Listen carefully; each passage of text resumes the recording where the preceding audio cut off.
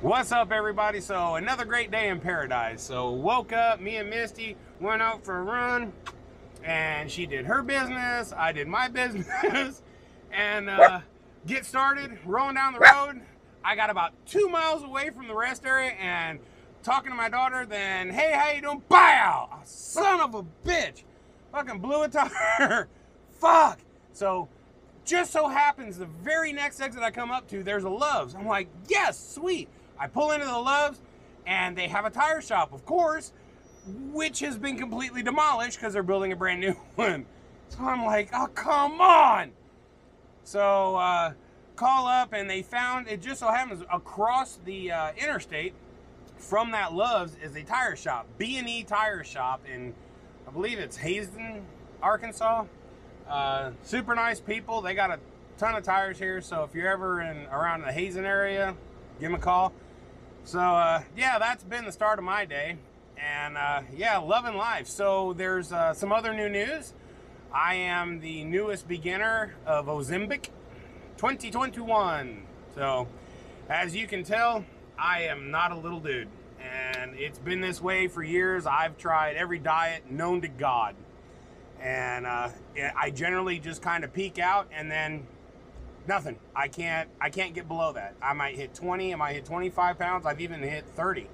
But once I hit whatever top peak is, it just stops. And you know, willpower only lasts so long when absolutely nothing is happening for such an extended period of time.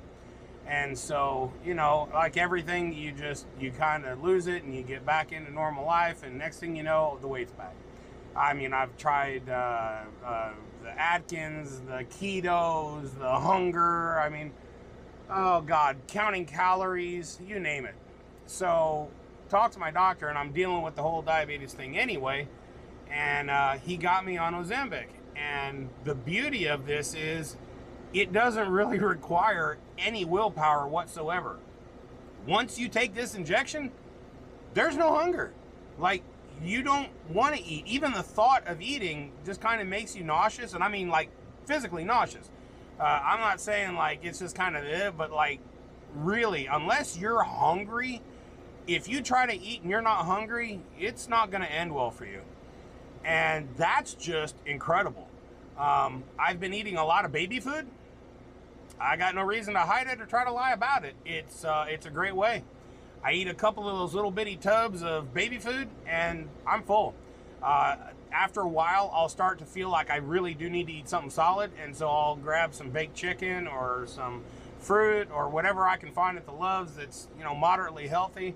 Uh, Love's generally has the better salad options and fruit and, and uh, vegetables. Pilot doesn't offer shit for health. I mean, they just don't. Love's is about the only one that I've found that has a consistent array of a healthy option. So I generally always hit the Love's for food wise, and then I got a refrigerator, which I never carried before, but that Ozempic has to be refrigerated. So I now have a little bitty refrigerator, and that's come in super handy. I get quite a few of the cups from the Love's, and that'll last me a long time. Uh, another thing that they sell that I really enjoy are the uh, yogurt parfaits, kind of like what McDonald's has, and they have blueberry or strawberry either one, I don't care. But that's a great, uh, you know, little snack. Uh, sometimes I'm hungry enough I can eat the whole thing, but usually I'll eat about half of it. Uh, put the other half back in the refrigerator and then eat the other half later. But uh, eating about once a day has been all I can handle, and it's just not much. Um, maybe a cup of fruit and um, some veggie sticks or something, but like compared to what I would normally eat in a day, it's just mind boggling. And I don't desire any more. Now, I drink like a fucking camel, don't get me wrong. I mean, I'm knocking down liquids all day long, but that's it. So I'm down with that. If I can just deal with liquids, yeah, okay. So um, it's been real simple. You take, uh, at this point, I've just started out, so I'm at 0.25 milligrams once a week. Uh, you just stab yourself in the belly uh, you have to rotate where you stab yourself so you don't develop, you know, puncture marks and scar tissue underneath. So you just go from one side to this side, up and down, and you constantly rotate where you're going to get it. Now, Um, I've also seen uh, where they say you can inject it, uh, inject it into your thigh, but uh, every uh, doctor and the pharmacist that I've spoke with doesn't recommend that you do that. Uh, they recommend the belly. And what's really weird is, first of all, you don't feel a thing. It honestly feels like you're taking your finger and doing this. You don't feel anything whatsoever, just a little bit of pressure from where the plastic part is there that, that's going down.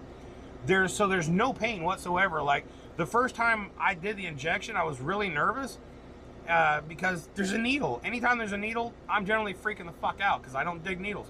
But the needle is so little and so tiny, you don't feel it at all. And you've got to hold it there for 10 seconds and then pull it out, take the needle off, throw it away, and then put your cap back on the thing. And there's, uh, because I've just started out, I'm at 0.25 and there's 1.5 in each pin. So you're supposed to do four weeks of 0.25 and then graduate from that to 0.5. However, uh, all the videos that I've watched on this say once they graduated to the 0.5 after four weeks, they ended up having to go back to 0.25 for a while because the system just wasn't ready. And I can tell you already from just dealing with the 0.25, I'm not going to be ready to make that jump. So I'm thinking I'm going to go ahead and just extend that 0.25 out for the full six weeks that's in the pen. Uh, and then I'll go back and just kind of decide because when you're first starting out, that's all it takes is just a little bitty 0.25 and your body is going to go through some real weird shit. Um, the first one I felt kind of dizzy for a little bit and Nausea, oh, that's one you're going to deal with every day at weird times. Um, I haven't had it so bad that I've had to vomit, but I've definitely felt the nausea. And so you just kind of try to breathe through it, drink a little bit, and you know, and it generally goes away. But yeah, it sucks, you know. But again, everybody that I've uh, spoke with and I've watched videos about says after a while that will dissipate. But I, I assure you, starting out with that uh, that nausea, that's the biggest drawback. Everything else, the kind of dizziness, the I don't know, sometimes feeling foggy headed. Uh, generally, that's the day of the injection where you get the most weirdness. It doesn't affect you so bad that you can't work. I drive every single day, you know, injection day or not. So it's not so bad that I can't do my job but it makes it more uncomfortable, you know, because now you're feeling kind of woozy in the head. Not so much that, you know, traffic is blurring or anything, but it's just you feel foggy headed. Like maybe you, got a cold coming on or something, that kind of thing. It's not where it's affecting you. But regardless, it's it's not pleasant. So I'm really looking forward to the uh, the moment where that kind of all dissipates and I can just take the injection and roll on. But for now, I'm still dealing with a lot. So yeah, but um, the the lack of desire to eat anything is seriously the most mind-boggling aspect of the whole thing. Like it used to cost me a few hundred dollars a week eating out here on the road between the pilot or you know um, a restaurant or ordering DoorDash you know, I mean, you can go through money in a hurry. If you've ever ordered DoorDash and ordered decent food, you know, something other than McDonald's, you know it doesn't take anything to go through 25, 30, 40 bucks. You know, if you're ordering like Mexican food or Italian food and you get a decent restaurant, you know, by the time you've paid for the food and then you pay the extra fees, you know, you've racked up a bill. So you can run through several hundred dollars in a week without even trying on the road. With this, I buy about 20 bucks worth of baby food and about maybe 20 bucks worth of fruit and vegetable cups and stuff like that. And that's really an entire week. Like that's that's and even then I've still got a bunch of uh, the baby food left. I've um, I've got a whole new appreciation for what babies are eating now because some of that shit is really difficult. you gotta just I'm wondering if it's the the uh, the injection causing the nausea or some of the fucking baby food. Because bro, turkey and rice, that is not turkey and rice. If turkey and rice took a shit after eating turkey and rice, that's what's in that tub. It's fucking rough. I'm telling you. Uh, chicken and rice, same thing. I think they just swapped the label.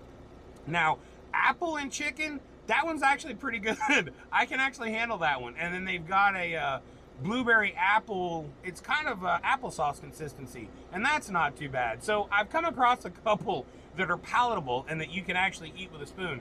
The other ones I've found it's easier to just rip the top off and literally just tip the cup up and try to slam it down, and that way it's done. Uh, all I'm trying to do is just coat my stomach and put something on it. I don't really want to eat anything, but I need something because you can tell that your body is feeling some real weird shit.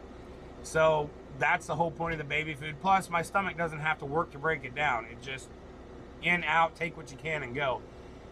So yeah, it's um to say I would do anything to lose this weight. Yeah, I mean, I mean it. You know, I'm uh, I'm about as low as I can get with eating, and uh, you know, really uh, putting things down my gullet that I wouldn't think I'd ever do.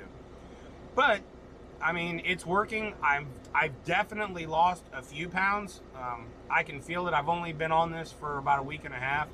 Um, so I recently just three days ago took my second injection, and um, again, there's just there's really nothing to it. Uh, so if for any reason the injection part of it might be freaking you out, don't. I swear to you, you won't feel anything. If you take your finger and push it against your belly, that's exactly what it feels like. You'll the only way you even know anything has happened is when you pull it out, there's going to be one single drop at the end of the needle. It's creepy, but that's the only way you know it's actually done anything. And it kind of when it when it goes in and you're clicking it, it goes off like one of those wind-up toys from the you know 60s and 70s where the robots would go it, that's exactly what it sounds like when you're holding the button down. it's kind of bizarre, but that's exactly what it reminds me of. So, uh, and it takes, like I said, uh, in 15 seconds from start to finish, maybe 20 seconds because you got to do the whole alcohol wipe. You're done, and then that's it. Then you just chill, and that's the end of it until the following week. Like I said, if you can handle dealing with the nausea, you really have to. That's going to be your biggest uh, maintainer of how to handle things. You can't really eat much, uh, and if you do and you try to push it because your mind is more programmed to, there's no way I'm not hungry, I should eat something, you will probably vomit because your body is just on a totally different level once you start this. Uh, what you're thinking in your mind and what your mind is thinking by itself yeah, don't push that button because it'll push back, and whatever you had going down will revisit you at that point. So, um, at any rate, I just kind of wanted to bring you all up to speed. This is um, this is going to be my new mark. As you can see, I am one very fat SOB. I'm about 340 at this point. So, I've been battling this for as long as I can remember. Uh, I was very, very, very skinny when I was 21. Um, like to the point where I, you know I would always get made in fun of because I was so skinny. Uh, I even got my my nickname on the CB way back in the day because I was so skinny. They called me Gumby because I could reach my arm in the motor and touch almost anything that they wanted to ask you about on the PTI. Somehow I went from one end of the spectrum all the way to the other. And so now I'm fighting this. But you know, uh, things are finally actually looking like there's gonna be an end to all of this. You know, before you start and you're eager and you're ready to fight it and do the willpower thing, you know, and then as you progress, you know, shit diminishes. Then a bright light eventually turns to a dim flicker and then it just fucking goes out and you're like, well, there's that. And after you've done that for so long, you you start to really lose hope that you're ever going to be able to just get down to a normal weight. Uh, I love being active and I love making these videos. I even, I highly doubt anybody's even watching these, and that's okay. When I'm old and retire, I will watch these videos again and go, I remember doing that. So this is really more of a for me thing. If anybody else watches it, that's cool, but uh, I don't really care if you hit subscribe or smash a bell. If for some reason you watched it and you got something from it, that's all. That's all I could hope for. Uh, like I said, this is more of just a journey for me to go. God, I remember when I was that big a tub of shit. But hopefully, I can stop this, and Ozempic is going to help me. That will be probably the greatest thing I could ever hope for. So um, next to Misty, awesome. so, well, I guess I'll end it for now. Hopefully this guy's going to get me a tire. And uh, yeah, until next injection or I decided to do something else crazy, see you. Thanks for watching.